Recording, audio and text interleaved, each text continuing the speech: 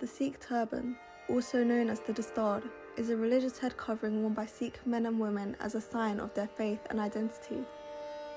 In April 1699, Guru Gobind Singh, the 10th Guru of the Sikh religion, formed the Khalsa, a brother and sisterhood of baptized Sikhs. During the initiation of the Khalsa, the turban was prevalent in society as a sign of royalty.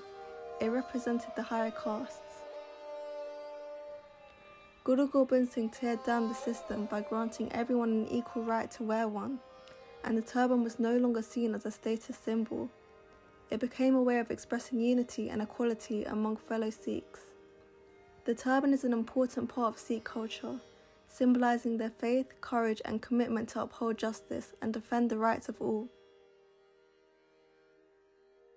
However, I found that despite its cultural and religious significance, Sikh turbans have been the target of discrimination and prejudice, particularly in Western countries where they are often misunderstood and viewed as a symbol of terrorism or extremism.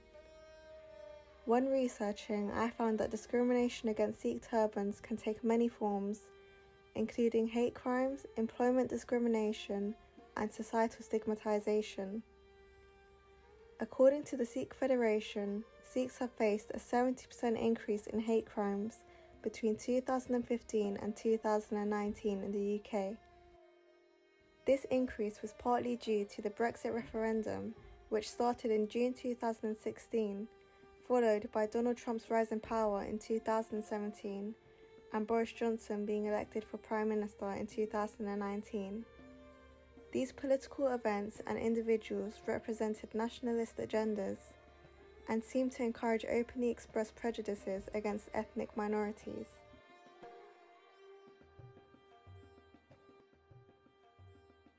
As a Sikh myself and someone who has been surrounded by Sikhs wearing turbans my whole life, but not truly understanding the meaning of it or the hardships my community has had to face, I decided to go on a journey to identify and educate myself on how and why the turban has been viewed negatively and whether this is an issue that can be worked on.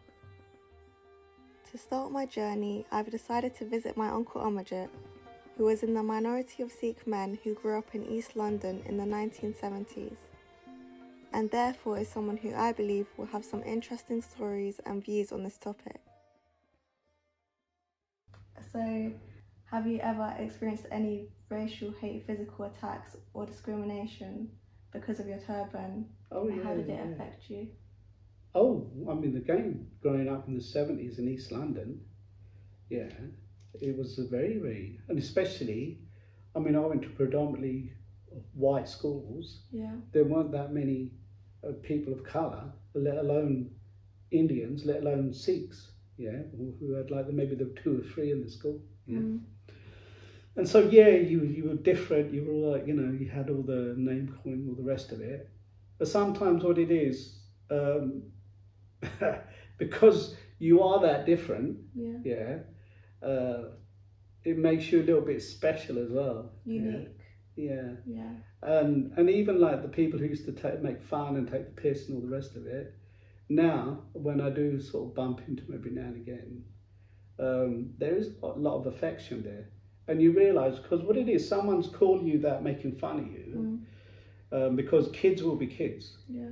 yeah uh, but you look at the intent because if you've grown up with prejudice you know what prejudice is and what it isn't when somebody says something because culturally they're brought up that up that way and they don't really know anything else Mm. but there's no ill intention Yeah. and this is something which I'm finding is a, a little bit difficult in this woke generation that we have.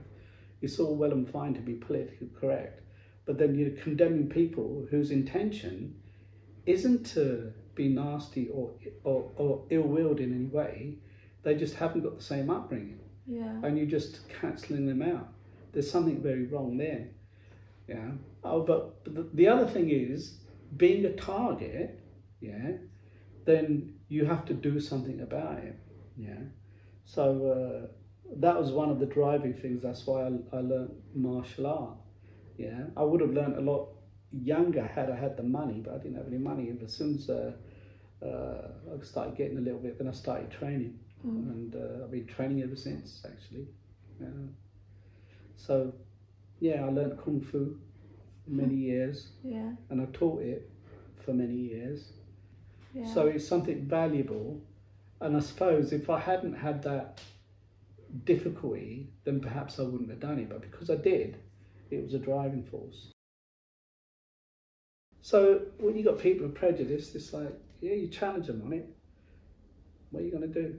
Yeah, because it's only by people being in contact with people or that thing which they don't like or disrespect, eventually some kind of respect can form. Yeah, but if you avoid it all the time and you never uh, mix or mingle, Mm.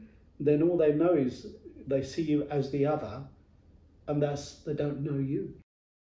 Over Do you year. think there's been like a specific period where it was really bad? The 9/11. Around one year before I was born, on September the 11th, 2001, the most shocking incident occurred in modern Western history 9 11. 9 11 was a terrorist attack on the United States of America. The attacks resulted in the deaths of nearly 3,000 people. These attacks were perpetrated by a terrorist group known as Al Qaeda, led by Osama bin Laden.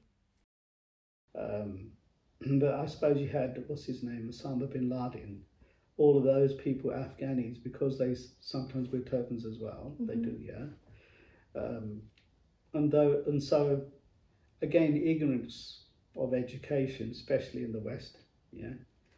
Um, and yeah, so you, Yeah. you you know you get called a Osama, you get called this, you got called that, yeah. Uh, and again, what it is, what it is. Did that impact you at all? Um, not really. You get called things every now and again, Osama or this or Bin Laden, yeah. But what what can you do? Yeah. You kind of sit there and educate someone who's like driving past in the car swearing at you. So what are you gonna do? Um, the thing is, what, what's when you've when you've grown up, because I grew up in the seventies, there was a lot of racism then, yeah. Yeah. Um, and again, like politicians do now, they did then. Oh, people feel like we're being, uh, what's the word she used? Thatcher. Uh, swarmed or o- overwhelmed or whatever it was. It was trigger language. Mm. Yeah. And um, anyway, so yeah, you do have that. Um, and people, I didn't realize how much the media does influence you, but I became very aware of it um, in the 80s, before and after um, 84, the attack on Harimandir Sahib. Yeah. And uh, I thought they were saying this and now they're saying this. So, and what it is, so who do you trust? What do you trust? It's difficult to. Yeah. Yeah. So I'd experienced prejudice um, growing up in in East London. Yeah. Um, most of my life. But what you find is not everybody is. Most people actually aren't. Yeah. And that's the thing. They most get people influenced by the media. aren't. Well, they get influenced by media or get influenced by Others. family and backgrounds, so depending on what time you- you're talking about, 70s, you know, and all the media, you know. But as as people get to know people, then you see uh, that they, you're just like me. Yeah, you might look a bit different. So yeah, After having that interview with Uncle G, it made me reflect on how far we've actually come as a community and has given me a different perspective as he suggests that people are now more open to difference.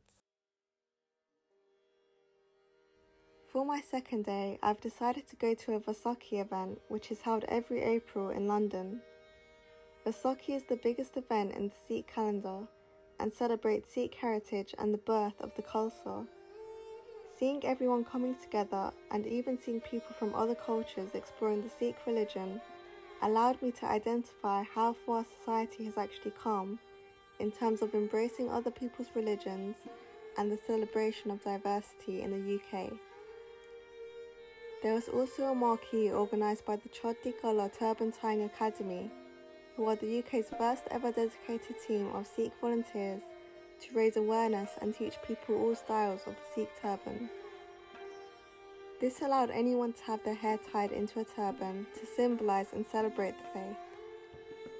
Even seeing people from other ethnicities asked to have the turban tied was amazing to see and showed me that there is a lot of progress being made in terms of the stigma that had been created around the turban by others.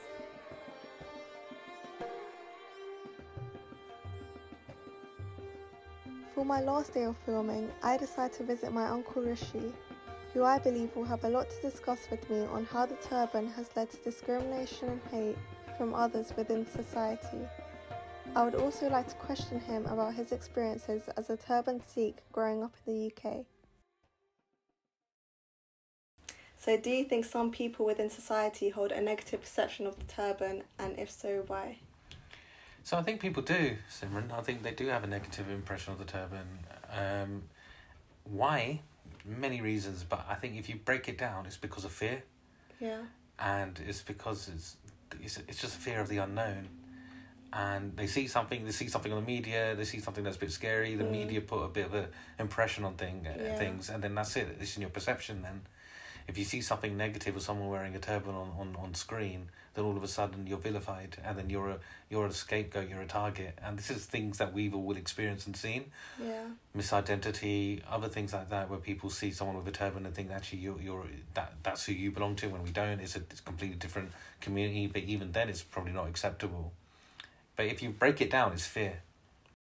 Are there any factors you believe has led to an increase in hate crimes against Sikhs with turbans? So it all depends on what's happening in current affairs. It happens on what's happening around. Um, obvious ones: 9-11, Yeah, definitely. 7-7, the obvious factors. 7 7. This was a series of coordinated terrorist attacks that occurred in London on the 7th of July 2005. The attacks consisted of four suicide bombings, targeting civilians using the public transportation system during rush hour. The attacks were carried out by four homegrown terrorists, who were later found to have connections to extremist groups who were associated with Al Qaeda and Osama bin Laden. in those times you saw a real increase in hate crime.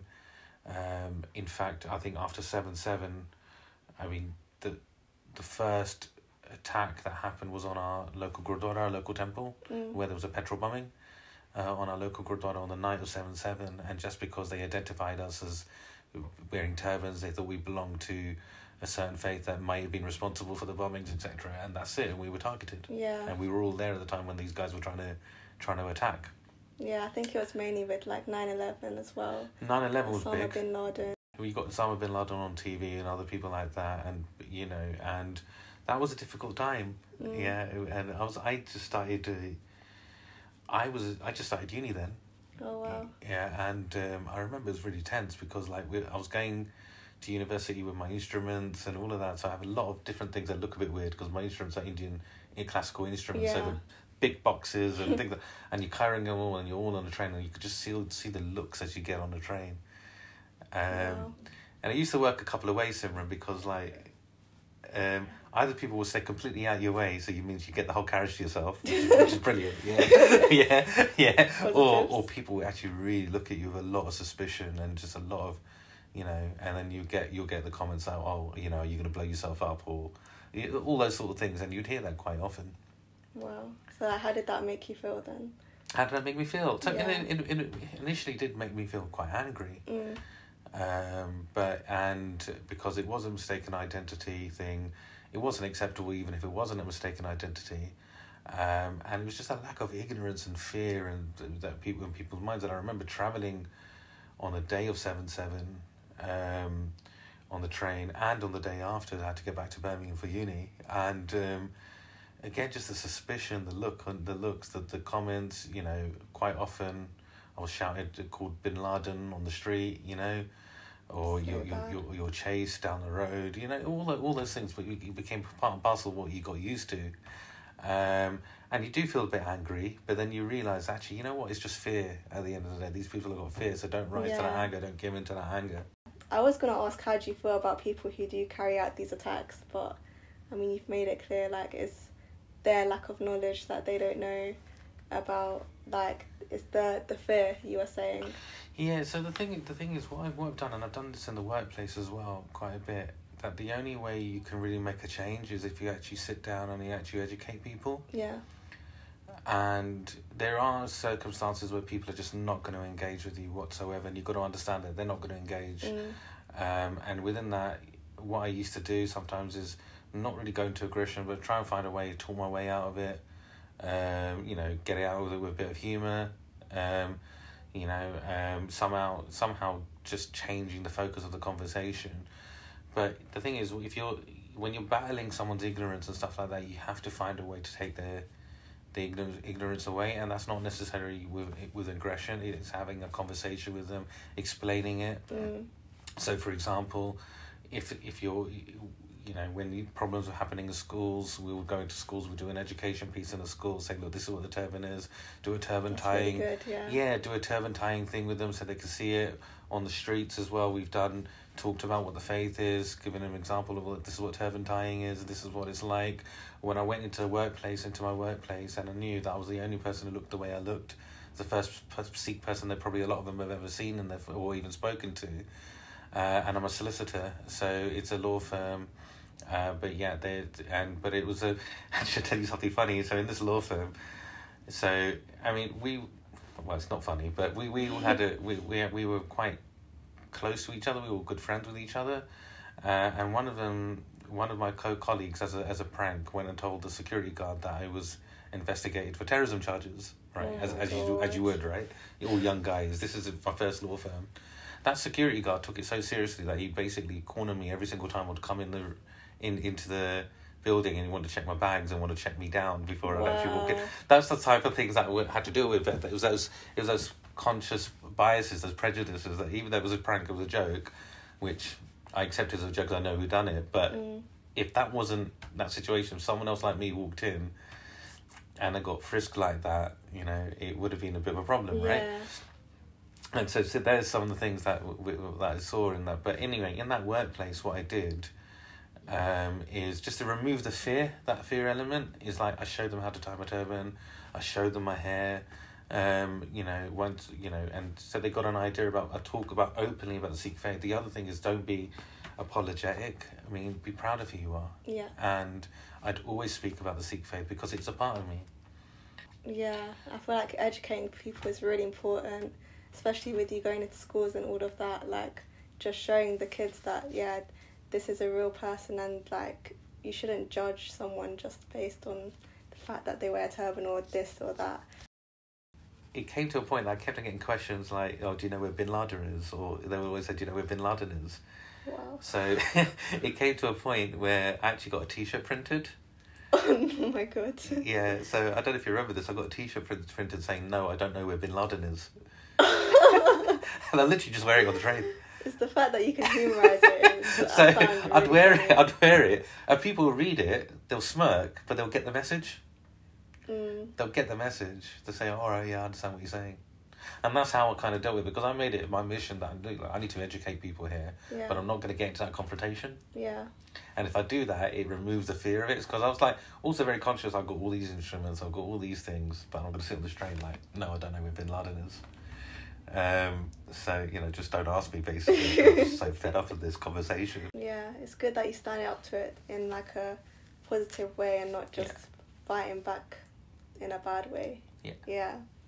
Um, and also, do you feel like the government are doing their job to highlight this issue? Like, do you think they are responding adequately to this issue, or Um, it's difficult, really, because there's never enough that's done. mm, Yeah, it's never you're never doing enough.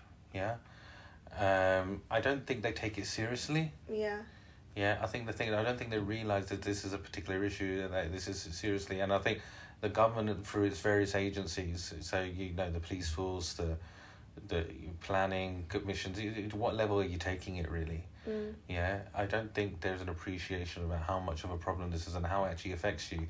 But also, it's more than that. It's it's not just name calling. It's not just all of that. It's not just acceptance. It's the psychological impact that these this has Yeah. on a community. Um, it's the ability that these these people who have turbans or whatever and they're subjected to that all the time then lose their self worth, and they, they they can't associate themselves with that culture, and then they can't associate themselves with the dominant culture either, and so they're kind of not sure where they sit. Mm. So it's like what I was going, what I, was, I started off with is like the Punjabi boys in school who didn't have a turban Yeah. or they cut their hair and all that is because they couldn't they couldn't associate themselves with that culture, but they were trying to fit into something that they weren't as well, and still not accepted. Yeah, so it's it's it's one of, and or there'll be what I also used to find is is that people kind of get a bit a bit apologetic about their appearance.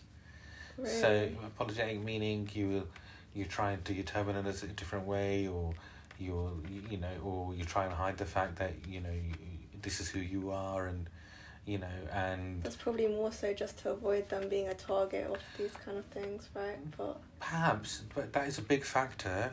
But, they, Mm. but like I said, if every person is going to be racist, they're going to be racist anyway, right? mm, And in more, it then speaks about how actually now they become so insecure about it because they don't actually know who they are. yeah, because they've been subjected to all this name calling, these, these verbal abuse, because they've actually uh, feared that they're going to be attacked on the streets and stuff. Because around here, we've grown up with Stephen Lawrence and we've grown up with Rohit Duggal and people like that. This is in our generation where we grew up. This is what was happening on the street, yeah, and people thought it was totally acceptable to to come and beat you up or chase you or do that because the police weren't going to do anything about it. And so there's times, and I wasn't the best runner because I'm asthmatic. And but there's times you've had to run and you've literally running for your life because you're thinking, what you know, what's going to happen, right? Um, and this is not late at night. This is just coming in from school, yeah. mm, And um, and that has an effect on someone, and like, you have to be really strong willed. Luckily, I was, um, I am, yeah. But Yeah. it's but I saw other people who it really affected them. They always because they said, look, I fear that I'm going to be a target all the time. mm, I'm always called something. I'm always this, and I just want to get rid of that. And I want to, I don't want to stand out anymore. I don't want to look like this anymore because they couldn't relate to it. yeah. I feel like it's especially for young boys at school, like it really does have a psychological impact on them. Like, I always see like these articles on social media where it's like, oh, he got attacked because of his patka and stuff, and it's not really being highlighted enough, like, in the media. And yeah, I think that's just due to the lack of education as well.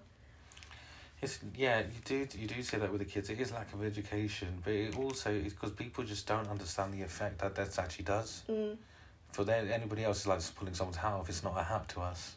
Yeah, yeah. it's a really part and parcel of who we are. It's our identity. It's yeah. it's, it's, it's no different to our blood that flows through our sort of through you know our body. It's exactly that. It's who we are. Many people have given their lives just for the sake of this turban over the Mm. years, you know, and it, it it's ingrained in our fabric and what, what what we do. It makes us who we are. So then, when you do see something like that with some of the kids that that we've seen and have been attacked, um, it is very very upsetting. And then seeing how um, it's taken very very trivially or very lightly is also very very upsetting. Yeah. So, why is your turban so important to you individually? Well, for me, individually, is one is a part of my faith, Yeah, yeah. But like I said, it is who I am. yeah, It's my identity. mm, And what I find personally is because I got my turban, because I look the way I am, it's actually put me in even higher esteem in my working life, in my in my in my personal life, my professional life. People, I stand out. People know who I am. I'm the only Sikh in my workplace. mm, Um, I'm the only Sikh doing what I do, you know, looking the way I am, and um, and immediately people are coming to flock to me because they know who I am, and they wouldn't. I would have just been another person in a, in a crowd, yeah. Yeah. Uh, and um, so I work. I work for an NHS department now, uh, as a solicitor for the in an NHS department, uh, where I'm managing a team of lawyers, I'm managing a team of solicitors, um, and literally, I, I, feel my faith, my image, my my perception is what has allowed me to be uh, successful in my role. yeah, Uh, it and it gives me that self worth. It gives me that self confidence. And if I didn't have that, I stand up. I know that I'm a Sikh. I'm a Singh walking on the road, uh, road as a Singh. Anybody with a turban with a beard is known as a Singh, uh, which means lion. So Mm. you've got the bravery, the courage of a lion. So, after speaking to my uncles and learning more about the importance of the turban as well as the hardships they've had to face, I feel like it's really opened my eyes in terms of how unaware I was that this is an issue. However, I do feel like today more than ever, people are becoming more comfortable with it. They're more comfortable with difference. And so there's definitely improvement being made. And like my uncle Amarjit said, that as we start to break down barriers and people begin to see who the Sikh community are, they start to realise that, you know, you're just like me and those preconceived thoughts start to disappear. So I feel like there's always going to be people in society who may not approve of one's culture or their image. However, as time goes on, people are hopefully becoming aware of their own prejudices against others, whether that's through self awareness or education or just meeting new people. And hopefully, the people carrying out these horrible attacks and acts of discrimination begin to see that the turban shouldn't be viewed as a negative emblem. The turban is something that shows our strength and commitment to our religion. Our faith's fundamental tenet is to serve all of humanity without prejudice.